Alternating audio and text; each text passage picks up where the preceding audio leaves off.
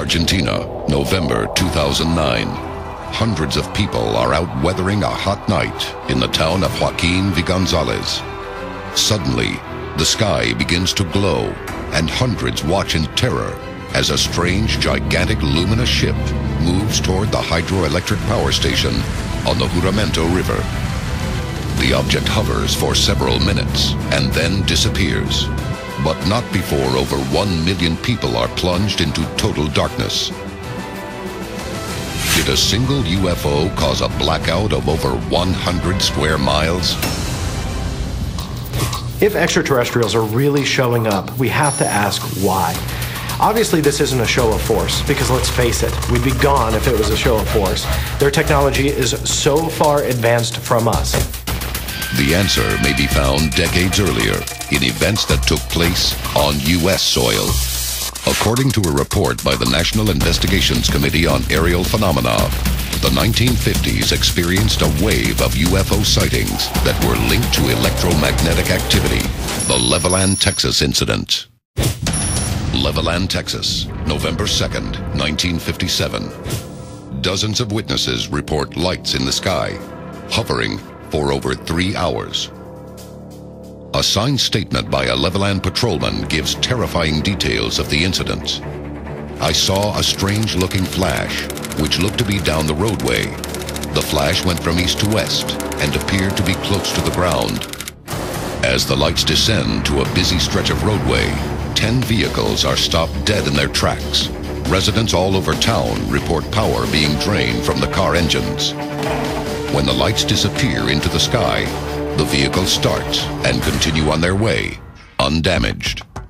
America's top secret UFO unit, Project Blue Book, immediately investigates the incident. They determine UFOs may be using a type of electromagnetic interference.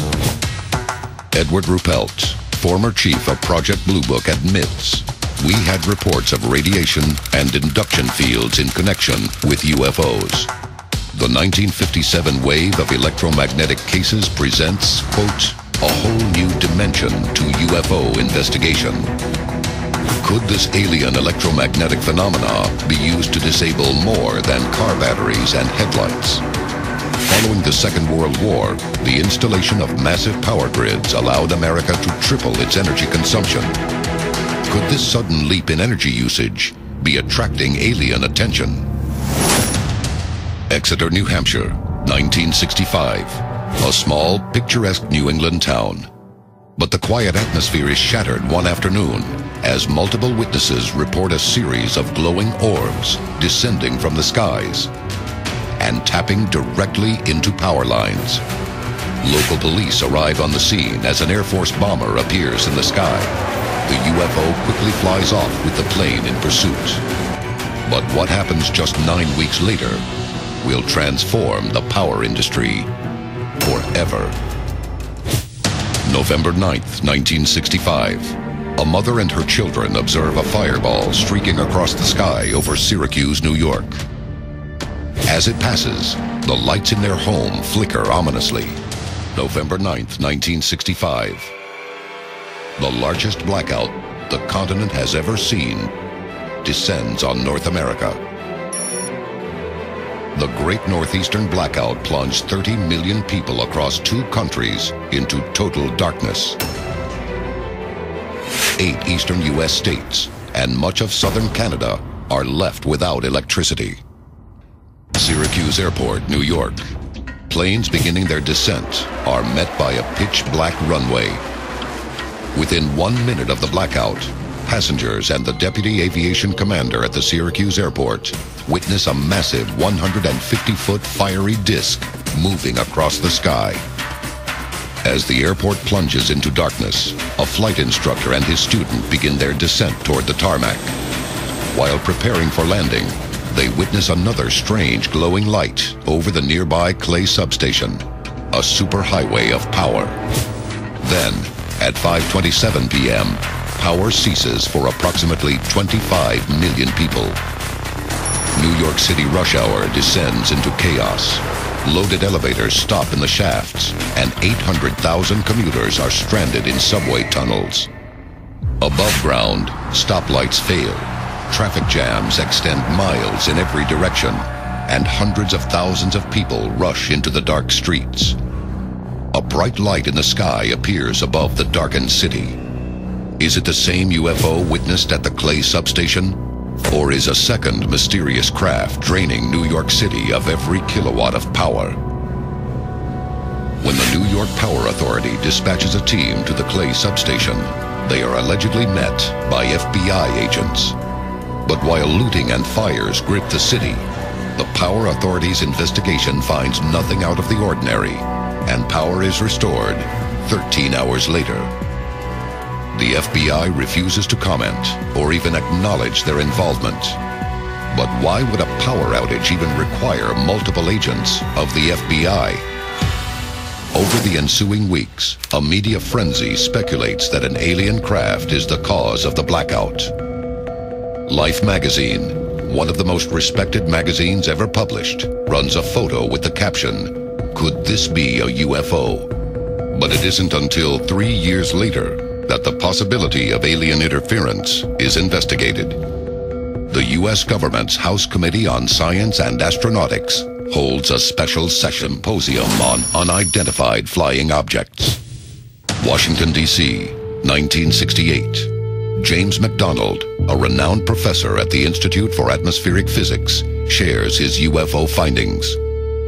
McDonald has been granted unprecedented access to eyewitness testimony, government documentation, and even the top secret Blue Book files on UFO activity. McDonald warns, there is a puzzling and quite disturbing coincidence between the sightings and power blackouts greatly expanded attention to the UFO problem is urgently needed.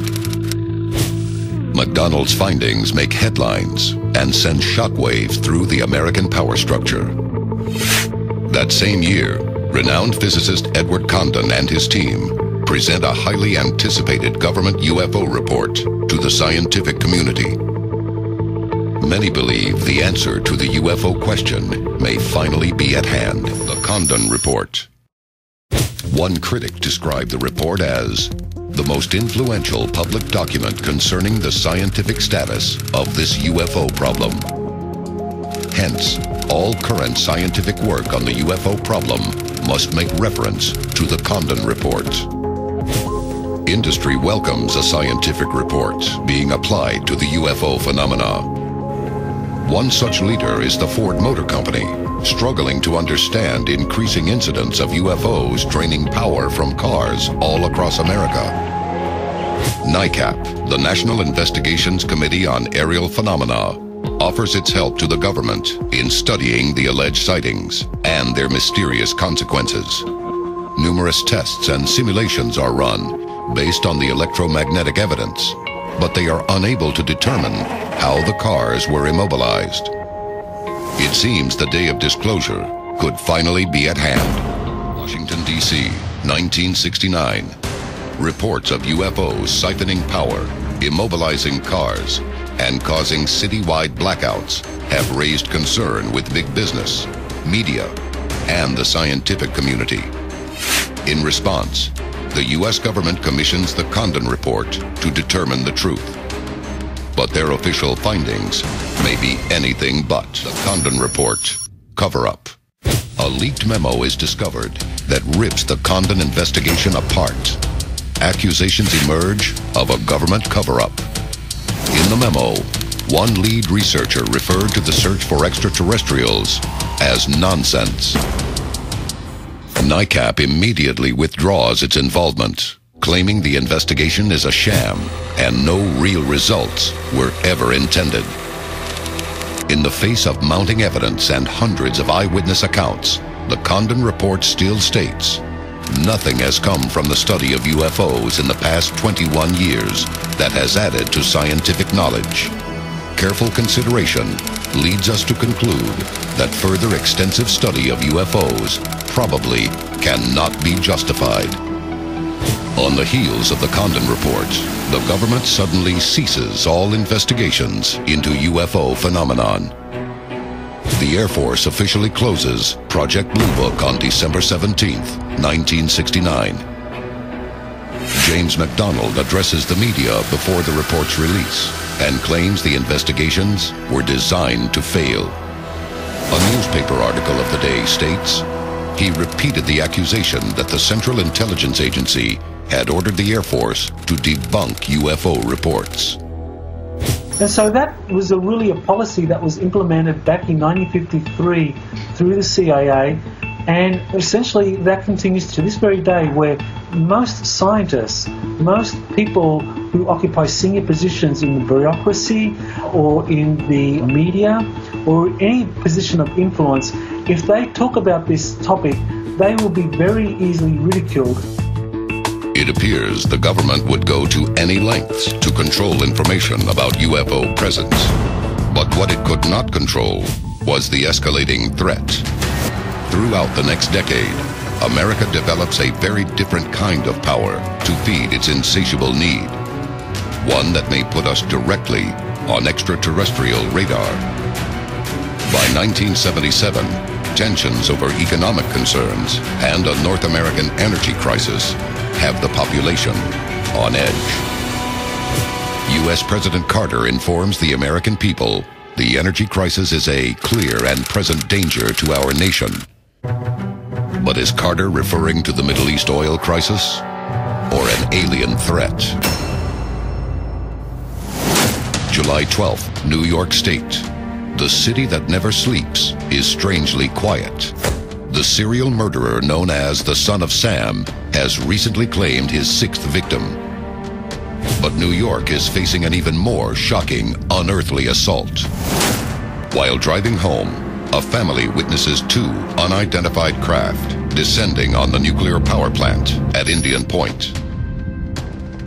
The highway is soon filled with parked cars and onlookers, watching in awe as the glowing crafts hover over the plant. Reportedly, they are eerily silent. Red, green, and blue lights rotate on the top of the crafts. Are they monitoring the Indian Point nuclear facility? There are UFO cases where they would appear and actually shut down the nuclear facility, sometimes for minutes on end. They would have an actual physical effect on the base. Eventually, dozens of witnesses report seeing UFOs that night.